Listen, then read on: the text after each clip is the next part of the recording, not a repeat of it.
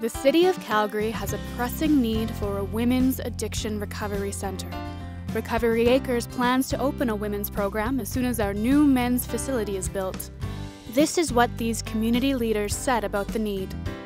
Women are absolutely more vulnerable when they're living with addictions.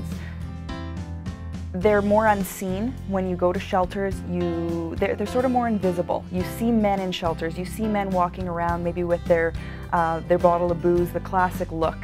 But women, women are bouncing from couch to couch unseen. And women can often find a roof over their heads, but it comes at a cost. Women are often expected to exchange sexual favors for their drug of choice, and it, it comes at a huge cost even though it's more hidden. There's a real gap in services in Calgary for women seeking recovery. There's a significantly higher number of women that end up in the criminal justice system than in the past. Uh, in the past, their crimes were usually or often prostitution, petty theft.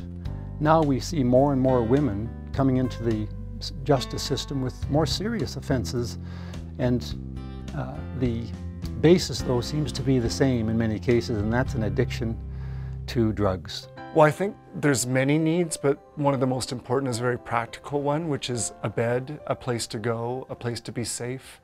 When you're transitioning out of your deepest, darkest period of addiction and wanting to get back to be a valuable member of society, there's a period there where I think many people fall through the cracks. And there's been a lot of emphasis on, on the male side of addiction, but the female side of addiction and its particular demands and the differences is something that, uh, that really needs to be filled.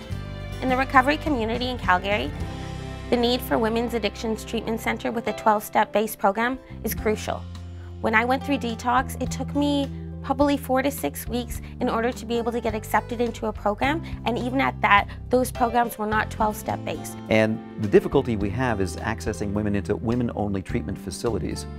And so oftentimes when we're trying to get women into these treatment facilities, they are waiting weeks and months we get a good number of calls throughout the week for women seeking help from us. Um, and we have to turn them down because we're set up for men only. The need for a women's program is uh, fundamentally based on the number of phone calls we get from women who are seeking treatment. And right now there is no place really to refer them to. One of the greatest needs in Calgary right now is more uh, locations for in-house treatment for women. And within that in-house treatment for women, a program that is more intense than perhaps is available in some of our existing facilities that uh, assist women. And that is specifically programs that deal with co-occurring disorders.